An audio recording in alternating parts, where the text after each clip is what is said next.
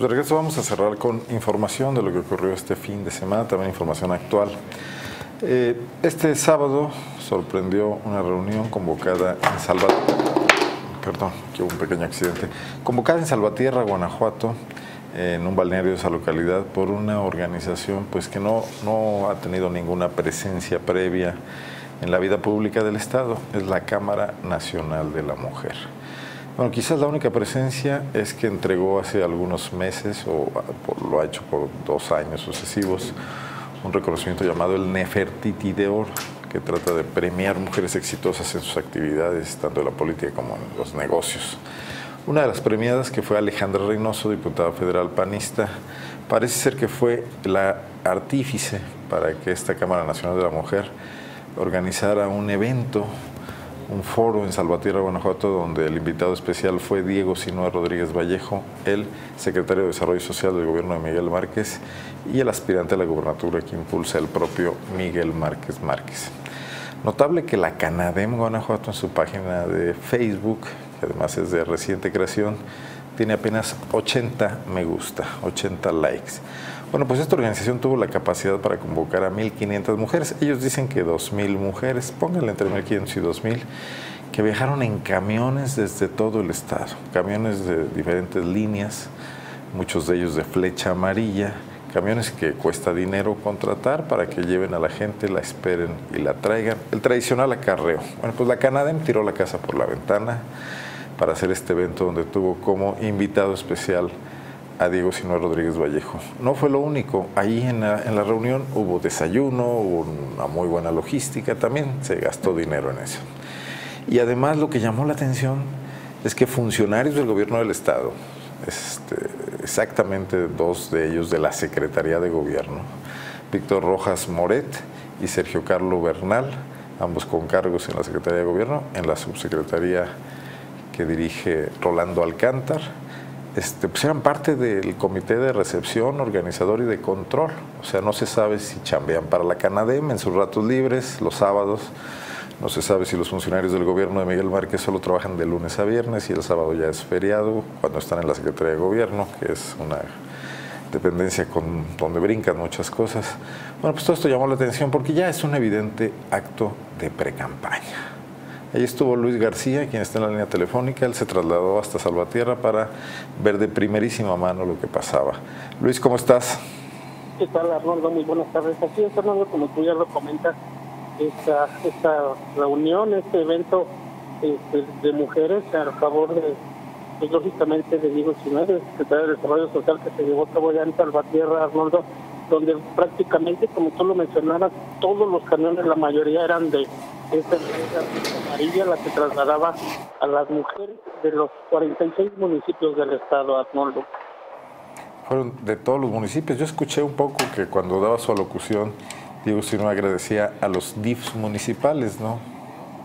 Así es, este, en el, de hecho en el evento Arnoldo estuvieron varias, si no es que todas las directoras y presidentas de los DIFs municipales, de los 46 municipios, este, también estuvieron regidoras, síndicos de, los ayuntamientos, Arnoldo, este, diputadas locales y federales que estuvieron en el evento, donde Diego Ciudad, pues déjame decirte que le agradeció particularmente a la senadora Pilar Ortega, quien fue, quien lo invitó personalmente a él a hacerlo listo el secretario de Desarrollo Social, Arnoldo.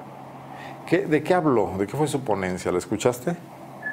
Sí, tuvimos oportunidad, Arnoldo, de estar ahí un poco en su ponencia, donde pues lógicamente, como lo dice el tema, el, la importancia de la mujer en el desarrollo social y humano en el estado de Arnoldo, donde pues dijo que la mayoría de, donde también aquí en Capilla Arnoldo que los habitantes, la mayoría de los habitantes en el estado pues son mujeres, pero que desafortunadamente esto no se ve en los puestos de elección popular, ni en las secretarías, ni en las direcciones de, de servidores públicos, Arnoldo básicamente fue lo que habló el secretario de Desarrollo Social y pues agradecerle a las presidentas del DIF, este, por ahí creo que en especial escucha que le agradece a la directora del DIF del municipio de Celaya. Escuchamos parte de lo que dice Diego, ah, vamos a escucharlo Luis, ¿podemos subir el volumen?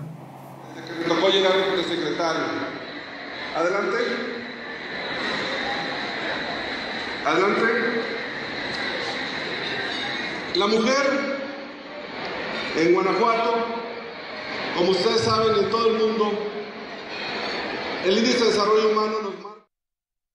Ah, pues escucha muy poco, andaba haciendo su bolas ahí con los papeles, ahí vemos la presencia innegable de la empresa Flecha María, que bueno, pues hace su chamba, le rentan, pues ella, eh, la empresa les alquila los camiones. ¿Qué se dijo cuando se preguntó quién pagaba toda esta movilización, Luis? Así es, Arnoldo, nos, nos dimos a la tarea de, pues, de preguntarle a varias personalidades de, de este evento eh, quién costeó toda esta logística, todo este transporte que, se utilizó, porque lógico, pues cuesta dinero, ¿no? Eh, eh, nos dimos a la tarea de preguntar y todos, Arnoldo, nos decían que fue el organizador, que fue la Canadem quien pagó pues, todo este evento. Preguntamos en el balneario, quien siempre estuvo este, había gente encargada, nada, no había directivos del balneario ni los propietarios y la gente que estaba encargada ese día, pues también nos decían que lo único que sabían que fue la Canadena, la organizadora, quien pues quien costeó el gasto de esa renta del inmueble Arnoldo. Bueno, pues surge una nueva organización que a lo mejor va a competir con otras organizaciones femeniles, la Canadem, potenciada sin duda desde el gobierno del Estado y la Secretaría de Desarrollo Social. Ahí está su directora, ¿verdad? ¿Recuerda su nombre? Sí, la directora este, es, este, eh, permíteme, que estoy con. Marta Alicia, Ah. creo. Vamos a escuchar parte de lo que dice mientras busques el nombre. ¿No escuchamos el audio? Nacional de la Mujer AC, Canadem, en el estado de Guanajuato. Les damos la cordial bienvenida. Antes de empezar a darles un poco una eh, breve introducción antes de comenzar el foro, me gustaría dar el agradecimiento al licenciado Alejandro Joel Escamilla Alvear. Él es el presidente del Consejo Consultivo de la Canadá en Guanajuato y creador del galardón Nefertiti de Oro que premia a la mujer por su trayectoria de vida, a quien agradezco su presencia. Gracias Alejandro, aquí está. Es una pieza clave para la canadena en la representación de Guanajuato. Entonces, a nombre de la Canadá en Guanajuato, les doy la más cordial bienvenida a este foro sobre la participación de la mujer en el desarrollo social y humano.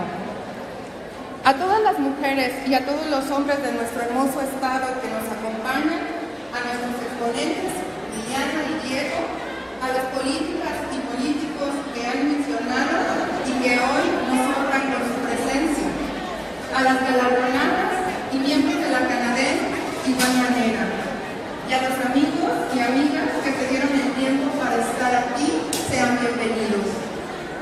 Y gracias por asistir. Este foro tiene por objetivo abrir un espacio real de involucramiento entre la sociedad civil y gobierno en temas de desarrollo social. Marta Alicia Rocha Sánchez es el nombre de la dirigente de la Canadá en Guanajuato.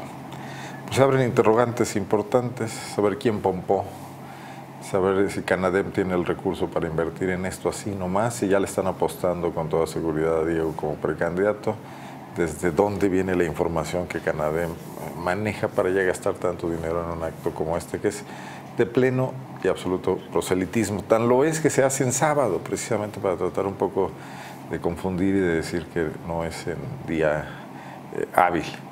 Eh, Luis, ¿algo más que agregar?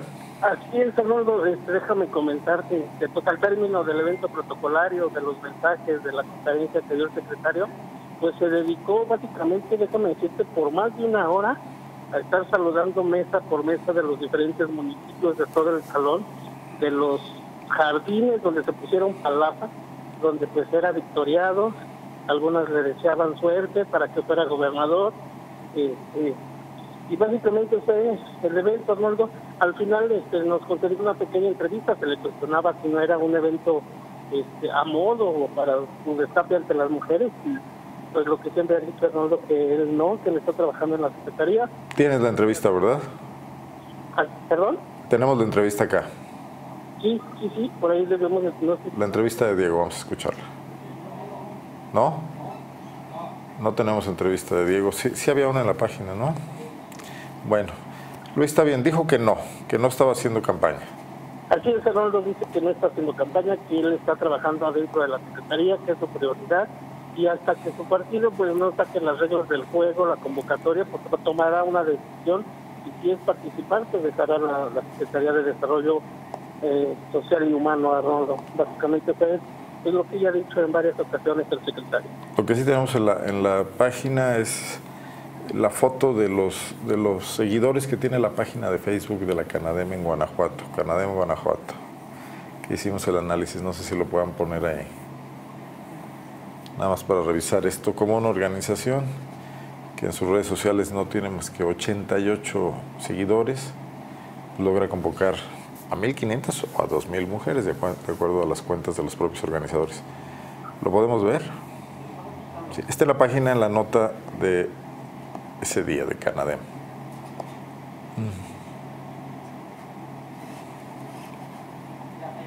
A ver, vamos a verlo.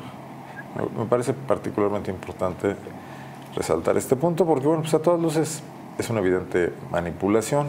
Se usa el membrete de Canadem para, eh, bueno, pues para ocultar una movilización que es estrictamente de la Secretaría de Desarrollo Social con la vinculación con los DIPS municipales. En León se fueron 20 camiones hasta Salvatierra, salieron de los polígonos de pobreza. Es evidente que bueno, pues Daniel Campos Lango sabía muy bien qué estaba pasando ahí. Ahí está el análisis de la Cámara Nacional de la Mujer. Tiene, está recién creada, se creó en septiembre bueno, 1206. bueno, el chiste es que tiene 88 me gusta las cifras son consultables de cualquier manera en Internet. Bueno, Luis, muchas gracias. Gracias, buenas tardes, estamos aquí Bueno, estamos pendientes de lo que pase en la zona. Sí, sí, sí, Luis. A ver, vamos a regresar. Sí, regresamos contigo porque hay más temas, ¿verdad? Sí, nada más comentar rápidamente que existe la violencia acá en el municipio de. ¿De nada sirvió que el gobernador nos encomendara a todos los santos? Exactamente, yo creo que de nada sirvió la encomendación que nos hizo el señor gobernador este, hoy por la mañana pues se registraron cinco ejecuciones, Arnoldo, dos en la colonia San Telmo, del cuestionamiento San Telmo, en la pasada hasta las 8 de la mañana, dos hombres fueron acribillados a balazos, Arnoldo. Uno murió en el lugar y el otro en el hospital cuando recibió atención médica. Horas más tarde, Arnoldo, en el Cerro de las Brujas, a bordo de un vehículo, fueron localizados los cuerpos de tres hombres también ejecutados, Arnoldo. Hasta el momento pues sin identificar, pero todos presentaban impactos de arma de fuego en la cabeza norte. Esto para iniciar el lunes las ejecuciones en esa franja de la región Laja Bajío. Luis, gracias por el reporte. Así es, hermano. Buenas tardes. Buenas tardes. Y bueno, pues sin duda